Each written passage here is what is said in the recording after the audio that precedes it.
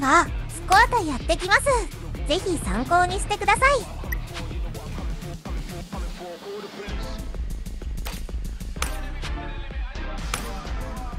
キャラはこんな感じで。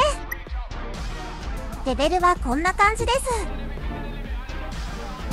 行動は関係ないのでそこは何でもいいです。というわけでやってきましょう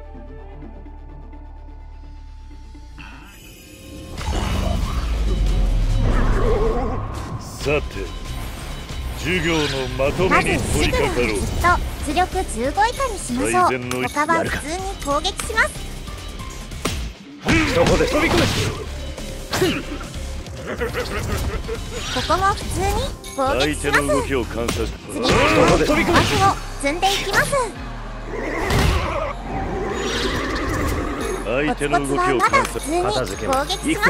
考えろでは教育のこ時間だ。こが踏ん張りどころだ。こ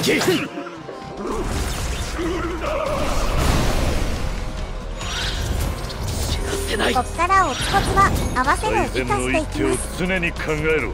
他は変わらずです。つだ。授業を始めよう。決まっていきましょう。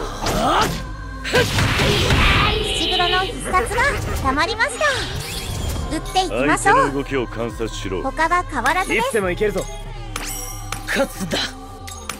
授業を始めよう。ここが踏ん張りどころです。もう一展開。感動を上げて。合わせるここも倒せた方がいいです。最善の一手を。まあしょうがないので続けましょう。準備では教育の時間だここが踏ん張りどころだ最後まで気は抜くなさ最後のターンになったら準コツコツの必殺を打っていきます教育の時間だ。他の2人の必殺を打ってい。きますさて準備をやるかでは教育のこ時間だこが踏ん張りどころ他のおつ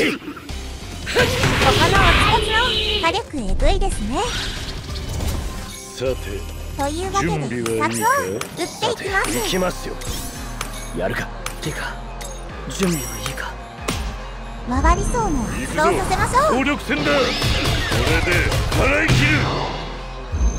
対象の7対3の点を弱点生に身も地味に私からは以上ですね。行くぞ今です。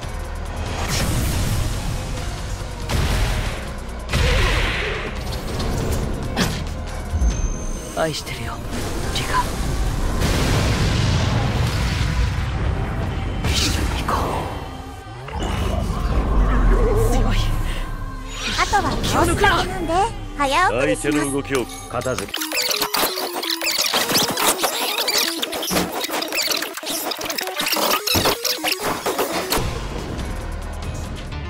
まだ報告がある皆さんやってみてください。